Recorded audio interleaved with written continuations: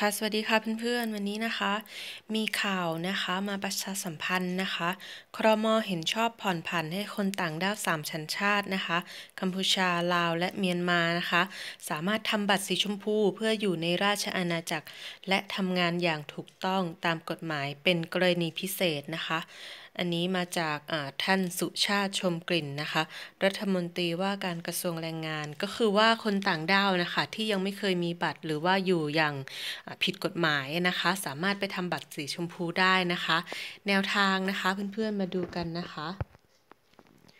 ค่ะ เบื้องต้นนะคะแนวทางในการบริหารจัดการการทำงานของคนต่างด้าวภายในประเทศ ต้องเป็นในกรณีที่คนต่างด้าวนั้นนะคะ มีนายจ้างอยู่แล้ว แต่ว่ายังไม่เคยทำใบอนุญาตทำงานเลย หรือว่าแอบอยู่ในเมืองไทยนะคะ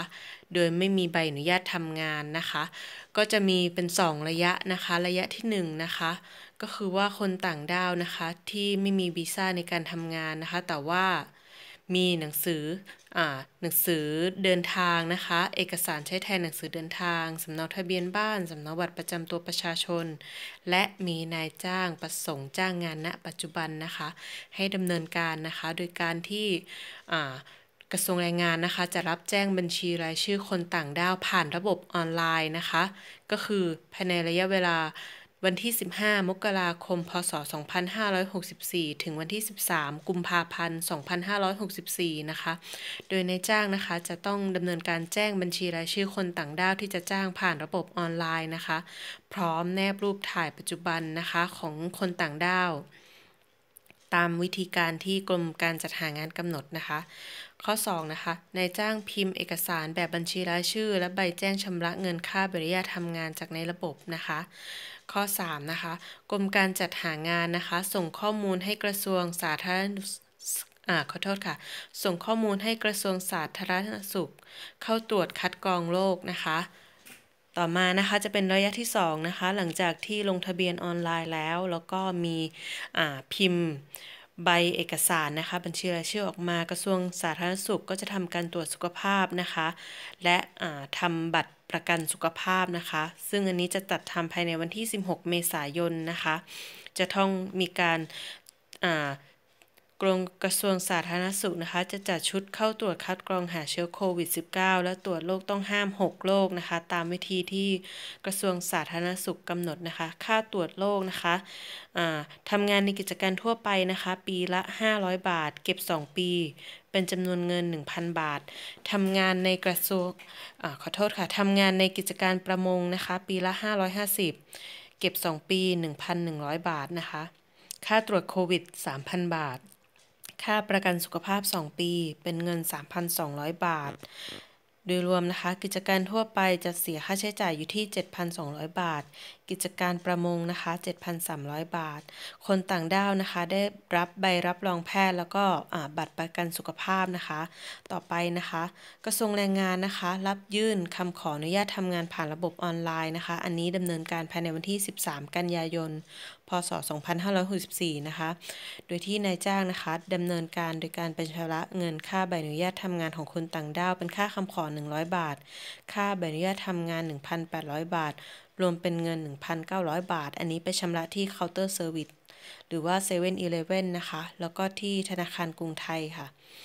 ค่ะ ต่อไปนะคะ นายจ้างกรอกข้อมูลการยื่นคำขอใบอนุญาตทำงานแทนคนต่างด้าวผ่านระบบออนไลน์นะคะ พร้อมแนบใบรับรองแพทย์ และหลักฐานการชำระเงินค่าใบอนุญาตทำงาน ต่อไปนะคะ ข้อ 3 นายจ้างพิมพ์ใบรับรองอนุญาตทำงานจากระบบออนไลน์ เพื่อเป็นหลักฐานไปจัดทำทะเบียนประวัติก็คือบัตรบัตรสีชมพูนะคะ ข้อ 4 นะคะ กรมการจัดหางานส่งข้อมูล การอนุญาตทำงานของคนต่างด้าวให้กรมการปกครองนะคะ กระทรวงมหาดไทยนะคะ หรือว่ากรมการปก กรมการปกครองนะคะ จะจัดทำทะเบียนประวัตินะคะ ภายในวันที่ 12 พฤศจิกายน พศ 2564 นะคะในจ้างและคนต่างด้าวนะคะนำใบรับคำขออนุญาตทำงานไปเป็นหลักฐานการจัดทำทะเบียนประวัติทร38 และรับบัตรประจำตัวคนซึ่งไม่มีสัญชาติไทย ที่มีใบอนุญาตทำงานอยู่ด้านหลังนะคะ ก็จะแสดงสถานที่ของกรมตาม สถานสถานที่ทำงานของบุคคลนะคะ เป็นบัตรสีชมพูนะคะ สถานที่ก็คือว่ากรมการปกครอง กรุงเทพนะคะ ค่าทำทะเบียนประวัติ 20 บาทนะคะ ค่าทำบัตรชมพู 60 บาท รวมเป็นเงิน 80 บาทค่ะ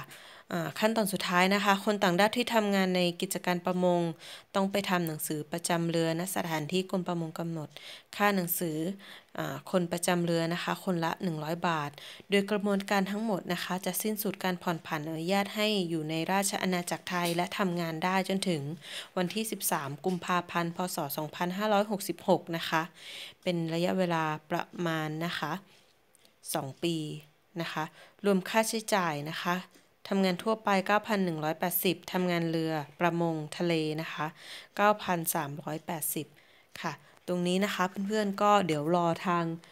กรมแรงงานกระทรวงแรงงานนะคะ แจ้งประกาศอีกทีนะคะ วันที่ 15 มกราคมนะคะ ให้ลงทะเบียนออนไลน์นะคะ ค่ะ แล้วถ้าเกิดว่ามีข่าวอัปเดตยังไง เดี๋ยวจะมาแจ้งให้เพื่อนๆ ทราบกันอีกทีหนึ่งนะคะ ค่ะ วันนี้สวัสดีค่ะ